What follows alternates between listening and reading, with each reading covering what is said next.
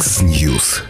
Здравствуйте, это программа «Разворот». Э, Анастасия Смоловская вновь в этой студии с вами сегодня. И звукорежиссер Евгений Копейн, э, как и утром, также будет помогать э, в проведении этого эфира. Сегодня у нас в гостях глава службы неотложной медицинской помощи Лиене Ципуле. Доброе утро. Доброе утро. Вот я уже, уже все, заработалась. Добрый день. Добрый день. Вы пришли к нам в форме, уже чуть-чуть обсудили до, до эфира. Тот, кто смотрит трансляцию или потом на на Ютубе будет смотреть в форме. Для главы э, службы, ну, как бы мы не привыкли, что это, ну, полиции, да, ходят еще в, в служебной одежде. Ну, мы тоже оперативная служба, и я эту форму надеваю всегда, когда учение у нас, и поняла, что тогда, когда я репрезентирую мнение э, службы неотложной помощи, очень важно, что я э, представитель э, всей команды неотложной помощи, потому что форма, она мне очень помогает. Ну, и свои обязанности намного больше я понимаю в тот момент, потому что я идентифицируюсь со своими сотрудниками, и я член команды, это для меня важно, и я знаю, что им это тоже нравится нравится. Э, напомню, телефоны прямого эфира 672 12 93 9, 672 13 93 9. Можете звонить, и работу WhatsApp тоже мы наладили, так что можете писать нам в WhatsApp 2306191. Зачитаем ваши сообщения. Э, вчера вы выступили с э, таким оповещением, что недостаток работников в службе по-прежнему существует, но уже хорошо вы справляетесь со своими сложностями всеми. Если там вспомнить год назад, когда объявляли кризис и такая прям была очень громкая тема, все обсуждали и пытались как-то прийти к пониманию, как ее решить. На сегодняшний день вот эта кризисная ситуация уже миновала. Как сегодня работа происходит? Не совсем так. Мы все время идем по такой, как говорится, грани того, что опять в каждый момент может э, возобновиться кризисная ситуация с нехваткой ресурсов. Э, например, очень трудная ситуация у нас была в начале лета, когда э, многие сотрудники сдавали экзамены и брали отпуска, которые им причитаются по, э, по закону. И было действительно очень трудно э, сбалансировать то, нехватку бригад и то, как много поступают звон, звонков летом, как раз когда много травм и автоаварий. Но э, все, все мы должны вместе понять, что то, что сказала госконтроль о том, насколько плохо все в отрасли как такой, что мы не можем ждать того, что даже если поднимется зарплаты, даже э, это надо делать, потому что если это не будет делать, этот кризис э, будет еще глубже. Э, мы не можем дождаться настолько много медиков на службе, чтобы их просто нет в Латвии. И это надо всем осознавать, потому что настолько их мало стало. И это нас никак, ну, нашу работу мы должны делать, несмотря на то, сколько у нас сейчас сотрудников и сколько их не хватает. И с всеми теми методами, которые мы внедрили в нашу работу, и с большим Э, lielu atbalstu с, с, поддержкой. с поддержкой сотрудников, которые участвуют э, в очень сейчас э, ну, такая лобильная у нас ситуация того, в какой бригаде будешь работать, будешь вести машину, будешь... Это очень много всяких таких вызовов для них, и они участвуют в этом, потому что они понимают, что то, что у нас нет сотрудников, достаточно медиков, никак не снимает с нас обязанность приехать на вызов. И я очень благодарна всем, которые понимают это. И я благодарна тем, которые, э, сотрудники, которые э, не очень это все одобряют, потому что они действительно тоже думают о тех рисках и о, о всех, которые мы должны вести. И э, работы очень много. Но на данный момент такой огневой, огневой кризис, он снят, да, но, но мы продолжаем работать, и для сотрудников это очень трудный период, потому что очень много перемен, очень много новых вещей, которые они делают. Ну вот об этом тоже сейчас поговорим. Полтора года назад, когда вы вступили в эту должность, было очень много критики, и вас так неоднозначно тогда приняли, потому что вы пришли с реформами, с таким, может быть, свежим взглядом, сказали, что нам надо делать так, это непопулярно, надо уменьшить количество медиков на бригадах, будут бригады, которые работают один день, будут уменьшено количество э, круглосуточных, увеличено количество дневных, э, водители тоже должны обладать какими-то навыками, да, то есть вы так достаточно жестко сказали, что вот нам надо вот такие, такие, такие пункты, хотите вы или нет, но эти решения принимать надо. Э, вот прошло полтора года, вы уже с такой теплотой о своих э, сотрудниках э, отзываетесь, значит, все прошло без каких-то бунтов и громких криков. Громкие крики, я думаю, что были, бунты тоже небольшие были, но я хочу сказать, что это не мои реформы как таковые, это работа команды. Просто это очень непопулярные решения, и, эти решения, они повисали в воздухе уже очень давно, потому что все понимали, что что-то надо делать, просто не было, может быть, такой дросмы, э, смелости, смелости э, сказать, э, что все, мы должны что-то делать. И я тоже сначала, когда я начала работу, очень так осторожно относилась к всяким, потому что, знаете, когда приходит новый человек, ему все кто-то что-то поучает. Один что-то говорит, второй нет, нет, нет, это совсем не так. И было очень трудно разобраться. Но кризис, который случился в прошлом году в конце года, он на очень многое подтолкнул и очень много э, открыл тех вещей, которые и сотрудникам сейчас начали были, ну, они увидели это, да, потому что многие э, на свою работу больше смотрят через призму своей бригады, своего индивидуального комфорта, может быть, а здесь, э, ну, все так как поняли, что это какая-то общая большая работа, большая система, которая разваливается, и ее надо держать, и э, поддержка сотрудников, э, да, я сейчас с теплотой говорю, но я тогда говорила с теплотой со всеми, а, о тех, которые а, одобряли это. И я всегда говорила, что очень нужны оппозиционеры, потому что они были те, которые мне говорили о рисках. И на данный момент я очень хорошо осознаю риски. Э, я пробую их вести и смотреть, как с ними справляться, но на данный момент я думаю, что ситуация довольно-таки стабильная в общем. Вот это такая верхняя точка кризиса прошла. Что на сегодняшний день, какие планы, какие еще реформы предстоят в ближайшем будущем? Ну, Большой вызов будет в том, а, как мы будем а, на следующие 2-3 года еще развивать те бригады, которые, может быть, работают не в том составе, в котором мы привыкли работать. Потому что в ближайшие 3 года э, еще 200 сотрудников уйдут из э, службы неотложной помощи, потому что они уходят на пенсию, которая из ДНС, э, по, пенсия по выслуге. по выслуге. И это очень большое число, и когда мы смотрим на то, насколько насколько много мы подготавливаем каждый год новых, сотруд... новых медиков, новых э, работников неотложной помощи. Это нехватка углубится, и это очень э, ясно на данный момент. То есть э, в ближайшем будущем э, нас ждет то, что автоводители, которые работают в регионах особенно, э, у нас настолько небольшая зарплата по сравнению с отраслью транспорта, что они, ну, тоже кто по старости уйдет на пенсию, кто найдет лучше работу. То есть рисков еще очень много. И поэтому мы должны думать о том, как мы будем формировать эти бригады. И если это произойдет через 3 4 года, я сегодня должна делать прогноз, чтобы знать, как тогда поступить. И на данный момент очень ясно то, что мы должны будем думать о бригадах, на которых едут два человека, но они оба должны быть медики, они оба должны быть какой-то подготовкой.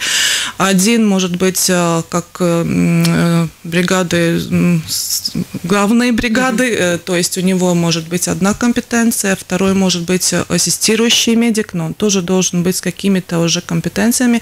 И это работа, которая затрагивает уже не только э, саму службу неотложной помощи, но и очень э, затрагивает подготовку вообще кадров э, для нашей службы.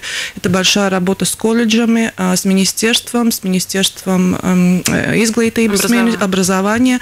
И мы должны будем это решать. И решения есть, но они требуют работы. И времени у нас очень мало.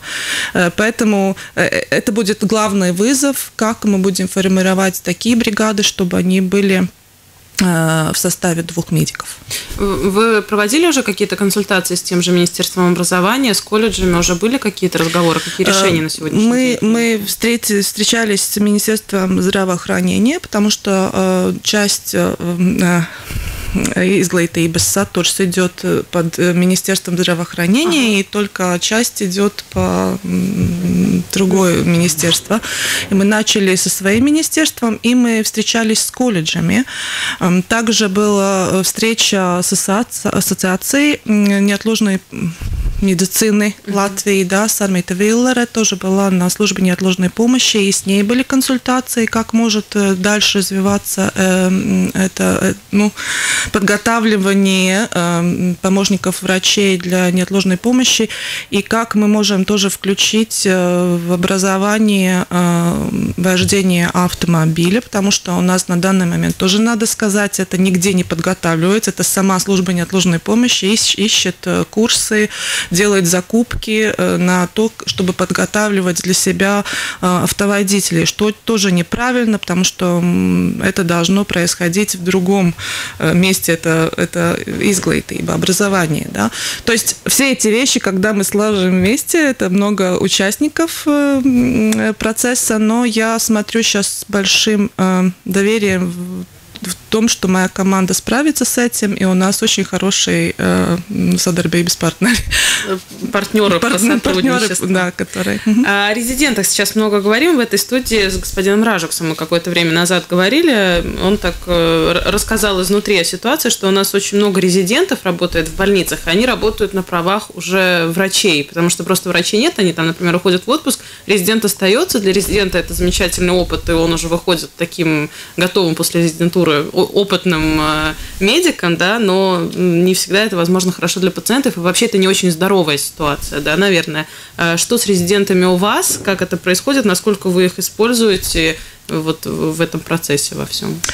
А, во-первых, хочу сказать, что немножко неправда в том, что это не такая хорошая практика. Это достаточно хорошая практика, потому что во многих странах мира а, в приемных покоях и на первых линиях работают как раз резиденты, как раз те новые врачи, которые должны получать а, ну, передзи, опыт. опыт в той работе. И это самые лучшие места. То есть и неотложная помощь, и приемные покои.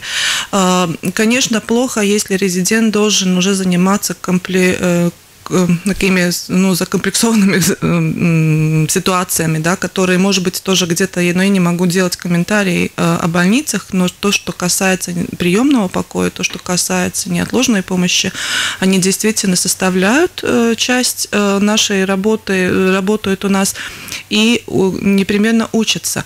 Но они все врачи, которые сдали экзамен, то есть у них есть град, да, это град врача, и они, и они могут работать. На службе неотложной помощи они могут работать только после того, э, вести бригаду, как они доказали свои компетенции, то есть они должны доказать свой опыт уже, они работают до этого как вторые э, персоны на бригаде, и они еще сдают экзамен специальный, как, который, э, ну, мы видим, что он может вести линейную бригаду, и только после этого.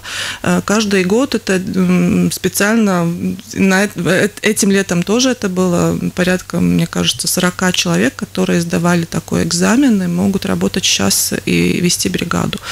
А, те резиденты, которые у нас работают уже 2, 3, 4 года, такие тоже бывают, э, они э, уже могут работать на высшей бригаде, потому что у них уже опыт и компетенция э, еще выше тех, которые работают на простых линейных бригадах. То есть резиденты – это обязательно часть того, что мы видим потом хороших врачей, которые потом уже продолжают работу как специалисты. Хуже всего ситуация в том, если где-то в больнице уже, не знаю, там, гинекологии или еще работает резидент, как уже ведет пациентов, и если трудности с врачами, то он уже получает такие, может быть, ситуации, в которых он еще некомпетентен. Но то, что приемный покой и, и мы, это, это практика всего мира, в принципе. Угу. А по поводу резидентов, которые, ну, мы знаем, что студентов у нас очень много, иностранных в том числе, именно на медицину к нам приезжают учиться, и они составляют, может быть, покрывают как раз вот эти бюджетные места, да, тот, кто готов платить. А вот эти резиденты, они у вас тоже есть иностранные, которые, возможно, не владеют э, латышским языком, русским языком? Нет, у нас мы можем состоять darba attiecībās только с теми, которые э, владеют э, государственным языком, но бывают врачи, я знаю, которые достаточно хорошо владеют этим языком. Это не всегда иностранный студент такой, который не владеет. Это очень по-разному происходит, но, конечно, он у нас может работать только если у него он знает э, государственный язык. 672-12-93-9, 672-13-93-9, телефон прямого эфира. Можете звонить нам и задавать свои вопросы, если такие у вас есть. По поводу бригад, которые не в Риге, да, мы тоже нельзя концентрироваться и забывать, что, да, возможно, там те же резиденты, которые здесь концентрируются, заканчивают университеты здесь, да, первую ступень, и, конечно, они, наверное, хотят в Ригу. Как часто вам приходится людей вот так вот э, перемещать? Э, занимаетесь ли вы этим? Направляете ли вы, например, там, даже хотя бы там по регионам, не знаю, из Даугавпилса в Резак, ну, как-то вот Оперативная работа всегда может э, быть такая, что человека может э, послать э, в то место, где это необходимо. Это часть оперативной работы, и мы это делаем в той ситуации, если в течение дежурства, например, есть какое-то происшествие, которое требует больше ресурсов. Ну, например, когда было это со страданиями, случилось в больнице, у нас с Видземского региона направились три бригады э, в Ригу, чтобы, э, ну, так, э, помогать решки и вызовы принимать. То есть это нормальная оперативная работа.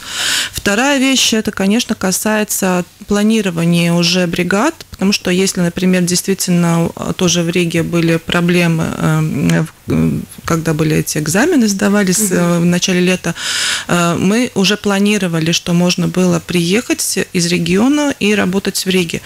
Э, и это использовали довольно-таки много из регионов, потому что это не только возможность еще дополнительное дежурство взять, это еще и опыт, который действительно в Риге намного больше, чем может быть в регионе, потому что здесь намного больше этих вызовов и намного больше всяких ситуаций, в которые может оказаться медик, это очень хорошая школа.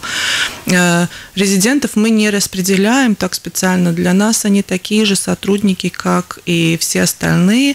Но, конечно, их концентрация в Риге намного больше, как раз потому, что здесь происходят их занятия э, в их э, учреждения, где они учатся, и то, что здесь больше всего можно набраться опыта что ну, специально мы их не распределяем угу. никак. Нам надо прерваться на новости рекламу. Мы вернемся буквально через пару минут и продолжим разговор. Mix News. Глава службы неотложной медицинской помощи Лиене Ципуле у нас сегодня в студии. Начнем с звонка. Уже слушатель какое-то время пытается дозвониться. Надевайте наушники. Здравствуйте. Алло. Здравствуйте, добрый день. Добрый день. Вас беспокоит Наталья Нечаева. Я хотела бы э, выразить огромную-огромную благодарность э, бригадам скорой помощи, которые спасли мужа моего Владимира Нечаева 6 на 7 февраля этого года. Прошло полгода, и я все время нашел э, такую в сердце благодарность невысказанную. А у него был обширный инфаркт с остановкой сердца. Было две, две скорой помощи ночью. Они спасли и я хотела отблагодарить буквально через неделю, звонила на вашу ста- но станцию, но мне обещали, что найдут эти две бригады и поименно мне скажут, чтобы я написала, я хотела написать письмо в интернете, в Делфи, поблагодарить всех поименно, но мне не отзвонили, не сказали э, имена этих бригад. Поэтому вот сейчас хочу вот озвучить свою благодарность вам тем, кто служит в скорой помощи в бригадах. Ну, слов нету. Сердце, э, сердце так стучит, когда говорю, и слезы в горле. Благодарна, благодарна, благодарна. Вся наша семья. Спасибо. Всего вам доброго. Спасибо. Спасибо. Ну, вот такие теплые слова. Да. 672-12-93-9, 672-13-93-9. Звоните, задавайте свои вопросы. Глава службы неотложной медицинской помощи сегодня у нас в студии.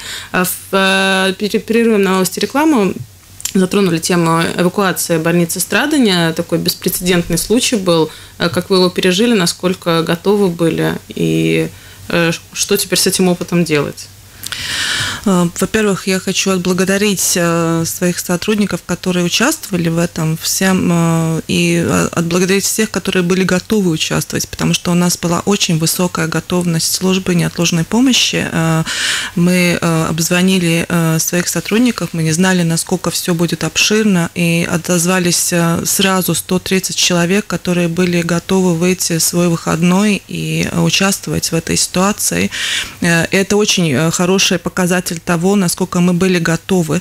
Э, не всем им надо было, потому что ситуация достаточно быстро э, стала уже, ну, риски все снялись, и полиция разрешила вернуться в больницу. Э, конечно, это очень поучительный урок для всех, не только для службы неотложной помощи, которая надо было думать, как эвакуировать больных. Э, и в Страдане это очень тяжелая ситуация, потому что там находятся тяжелейшие больные Латвии. На данный момент тоже там каждый день очень много людей находится в интенсивной терапии.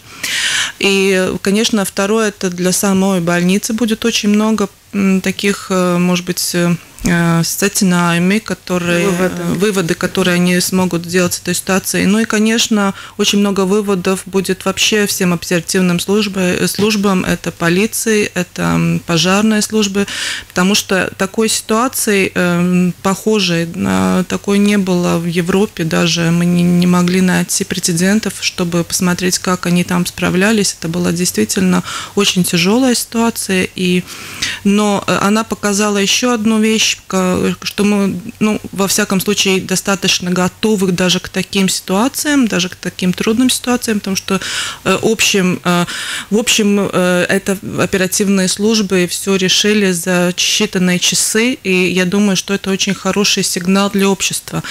Для нас как раз мы видели очень много своих, может быть, вещей, которые мы должны еще улучшить и изменить, но я очень горжусь всей работой, которая проводится проводилось в то время. И, может быть, действительно для пациентов и жителей что-то казалось, э, может быть, не так, может быть, какой-то хаос небольшой, который присутствует всегда при таких ситуациях.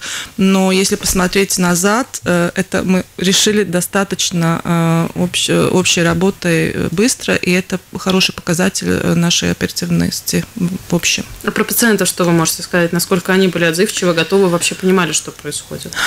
Было очень по-разному, потому что действительно а, тогда, когда очень ясно был взрыв, например, или пожар на больнице, или что-то произошло, электричество кончилось, это очень такие э, вещи, которые видны. Э, на это, в этом случае э, пациенты, конечно, чувствовали, я думаю, себя не очень хорошо, потому что они не, не до конца все понимали, и особенно тяжелым пациентам было, может быть, даже трудно понять, куда их ведут, почему и что теперь с ними будет. Это какой-то стресс обязательно.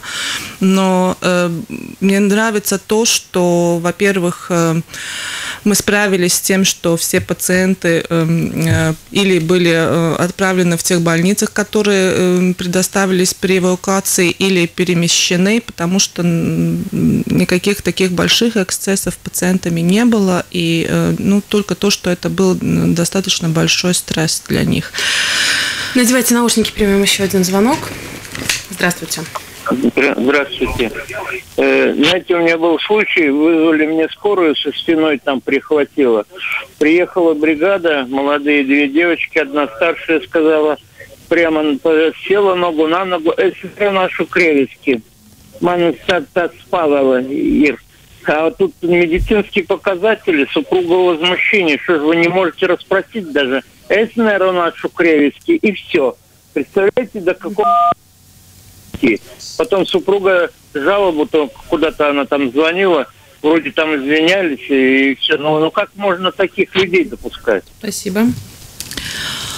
Да, ну э, это эм, достаточно такая тема сейчас трудная, потому что э, очень много молодых людей действительно не знают латышский и английский, но не знают русский язык, и это проблема.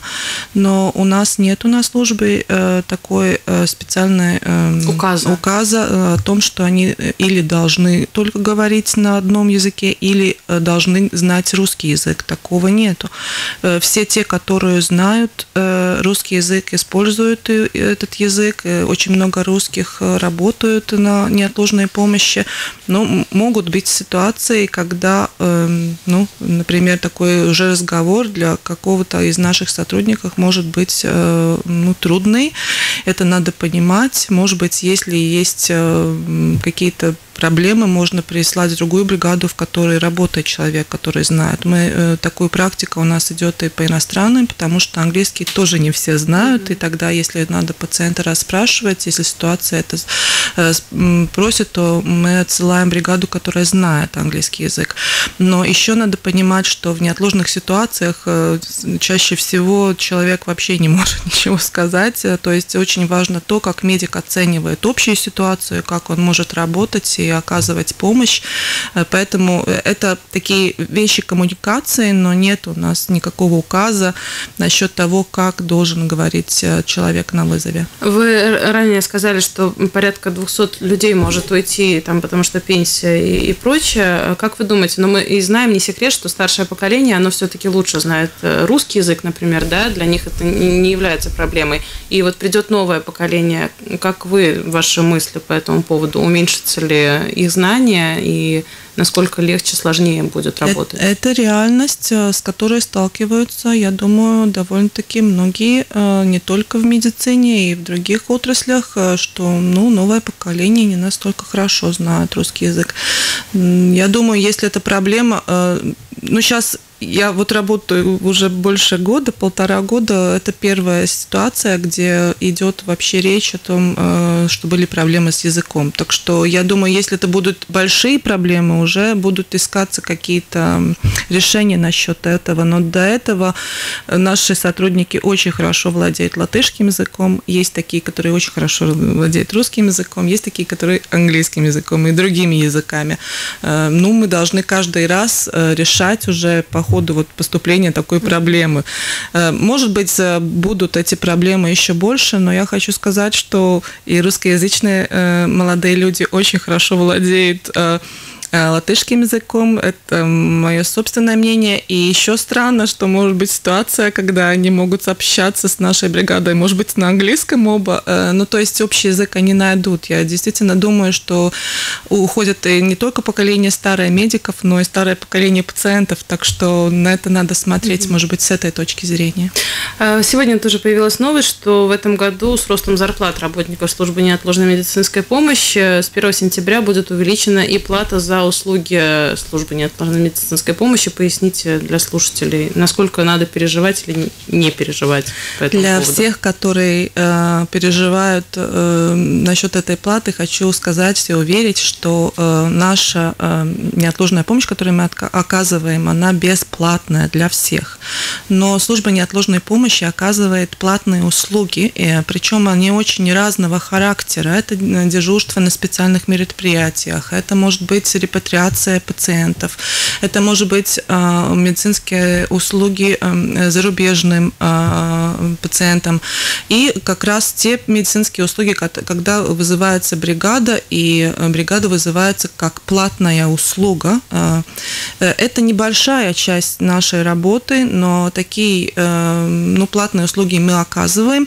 И так как в прошлом году был прирост зарплат, то за те часы, которые человек работает, например, например, был Рамштейн, э, Ширанс. Мы там всюду работали и оказывали помощь. То Там было дежурство, и это никак не погасается э, от э, той тех деньгах, которые у нас от государства на оказывание неотложной помощи. Это всегда финансируется от этих платных услугах, и мы должны заплатить за те часы медикам такую же сумму, как они получают, если они работают на бригаде линейной, как минимум такую же. И если будет ситуация, когда мы не сможем это сделать из тех э, платных услуг, которые нам оплачиваются. То есть медики просто скажут, ну, мы не будем дежурить на вот этом концерте.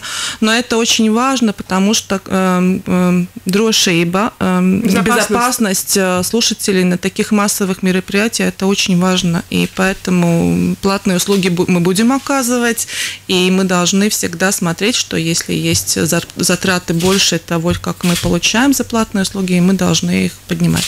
Надевайте наушники, примем еще один звонок. Добрый день. Алло. Здравствуйте. Добрый день. Сделайте приемник Ничего потише, хорошего пожалуйста. не могу сказать про вашу службу. Случаев очень много. Вот расскажу. Сделайте радио потише, пожалуйста. Мы вас очень плохо слышим, у вас эхо. А, выключил. Угу. Продолжайте. Ничего, говорю, хорошего не могу сказать про вашу службу. Все случаи не буду рассказывать. Самый вопиющий. Лет шесть или семь назад у друга инсульт случился. Ну, это я сейчас уже подкован, конечно. В то время не, не очень понимали. Перекосило лицо, тошнило и плохо разговаривал. Это было на выходные. В пятницу одна девочка приехала, сказала, что защемление спинного нерва давайте до понедельника. В субботу ему опять стало хуже. Вторая тоже девочка приехала и точно так же сказала, что защемление нерва. В понедельник мы его сами уже отвезли в больницу. Конечно же, инсульт. И уже третий инсульт в этом году. Так что вот спасибо нашей скорой помощи. Человек инвалид, еле ходит. Только по квартире. И еще, вот я хотел тогда этим заняться, как-то рутина по прошествии стольких лет документы сохранились. Я думаю, что можно за суд подать, наверное. Спасибо за вашу историю.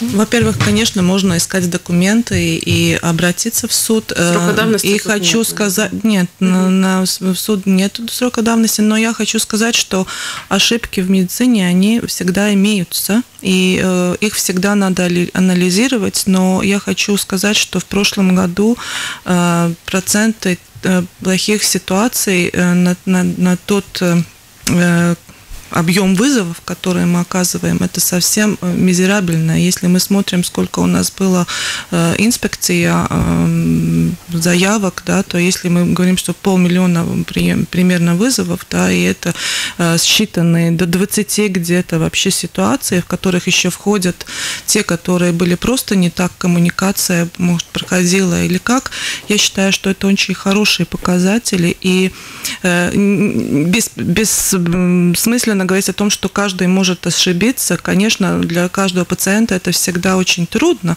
но без этого медицина бы не была э, возможна, потому что действительно эм, ошибки эм, надо потом анализировать и исправлять, и стараться, чтобы их больше не было, но их э, стопроцентно э, снять это невозможно.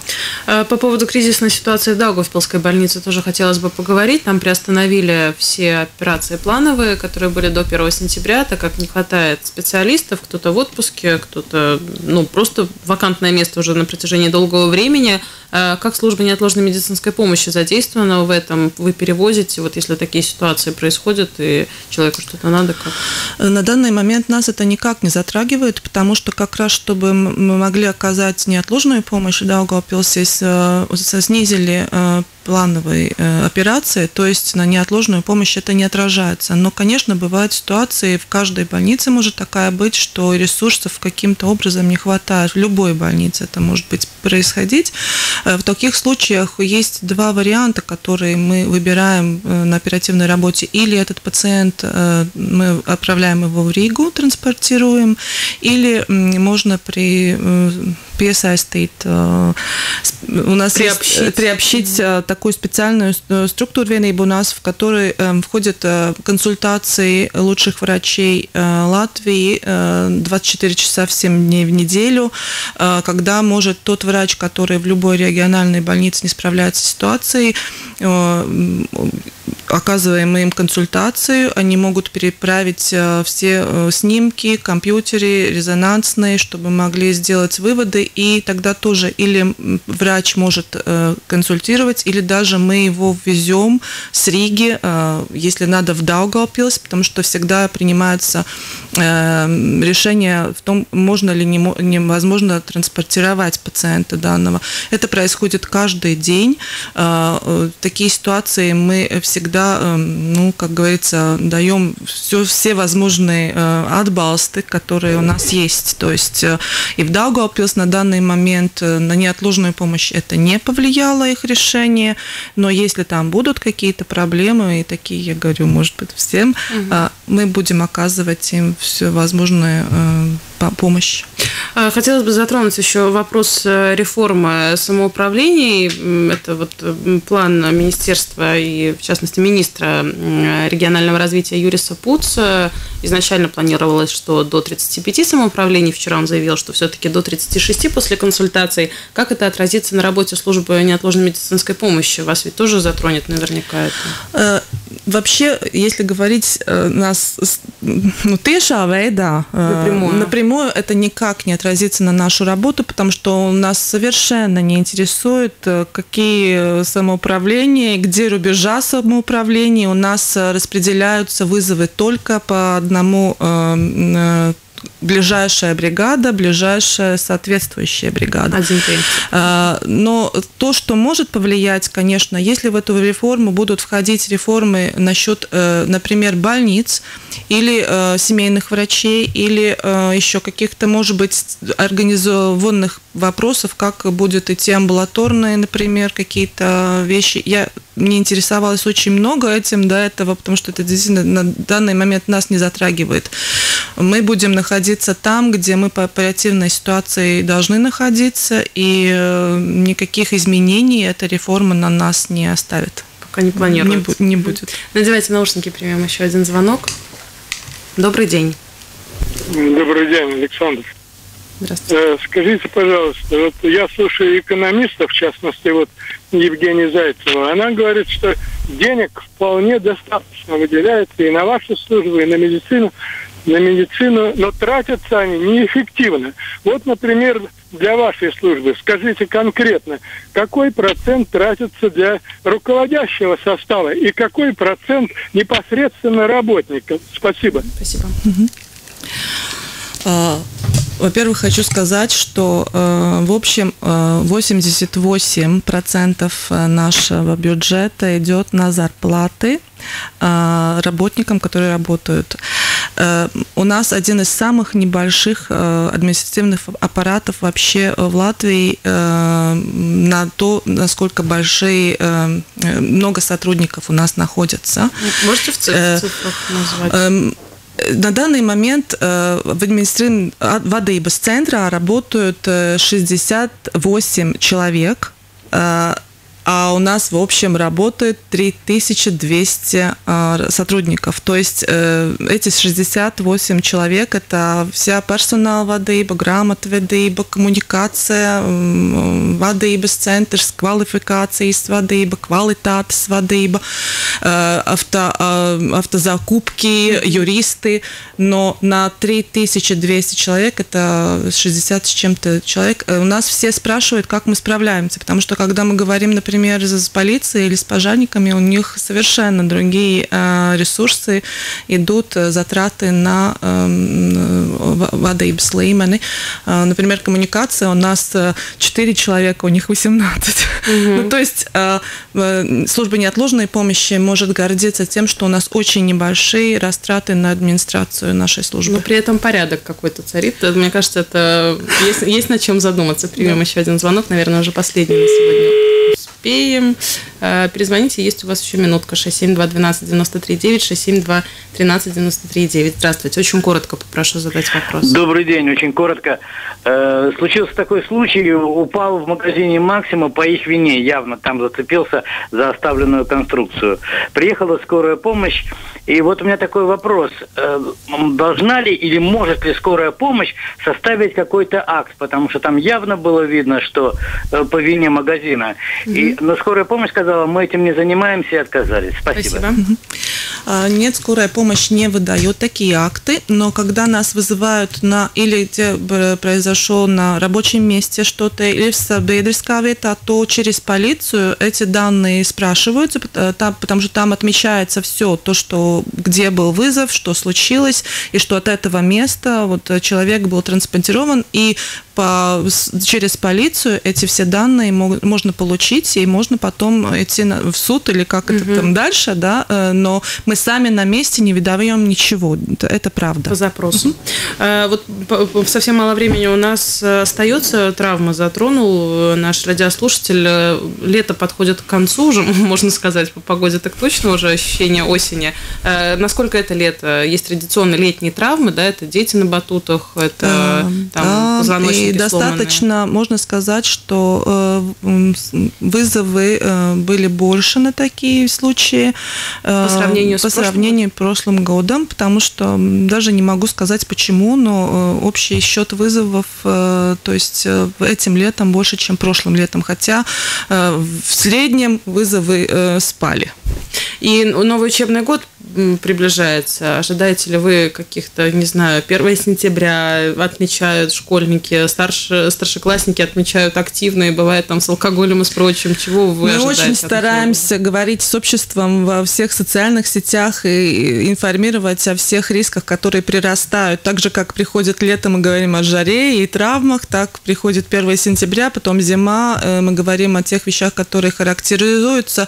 Э, и очень э, надеемся, что у нас услышат, и травм будет меньше, и проблем будет меньше. Потому что действительно э, травмы детей как раз Латвия выделяется э, на, на всей статистике, и это как меня всегда интересовало, почему.